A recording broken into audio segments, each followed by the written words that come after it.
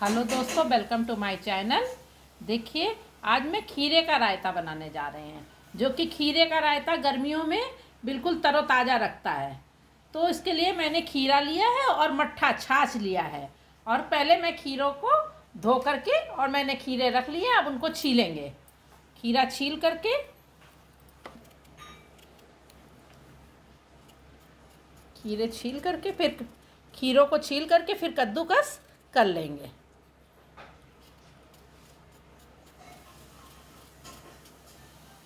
देखिए खीरे को काटिए और हल्का सा नमक लगा करके खीरे को यूँ करके मल लीजिए। इसमें से जो इसका कड़वापन है वो निकल जाए। मलने के बाद इसको फिर ऊपर से एक हिस्सा काट करके और फिर खीरे को छील लेंगे। देखिए खीरे हमने छील लिए हैं और इन खीरों को थोड़ा सा काट करके चेक कर ले कि खीरे कड़वे तो नहीं है तो इनको टेस्ट करने के बाद फिर घिसेंगे, तब दोनों खीरों को हम काट करके चेक कर लेंगे। खीरे हमारे कड़वे तो नहीं हैं। देखिए, खीरा खा के मैंने चेक कर लिया और खीरे हमारे बिल्कुल भी कड़वे नहीं हैं। तो अब इनको मैं घिस लूँगी।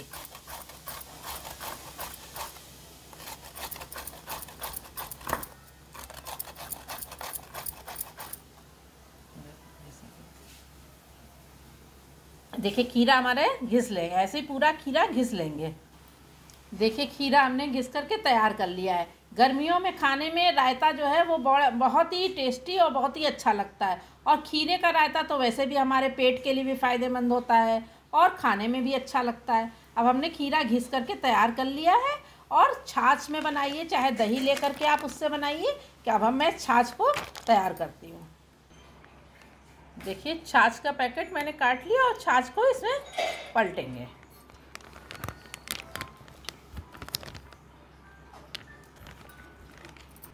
क्योंकि ये छाछ है तो इसमें कुछ पानी या फेंटने की ज़रूरत नहीं है और इसमें डायरेक्ट खीरा डाल देंगे।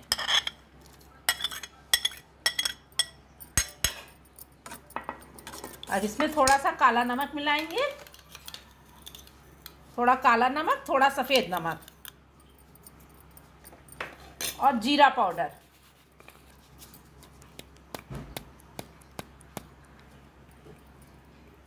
जीरा पाउडर।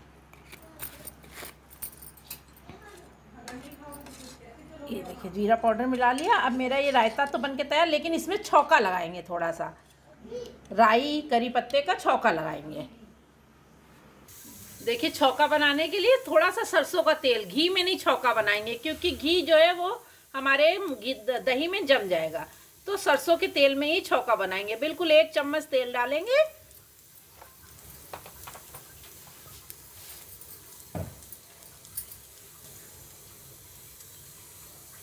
देखिए, तेल गरम हो गया, उसमें राई डालेंगे।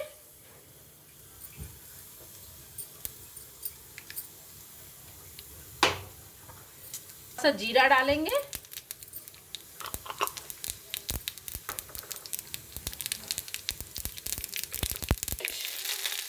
और करी पत्ता डाल करके और अपने रायते में छौका लगा देंगे।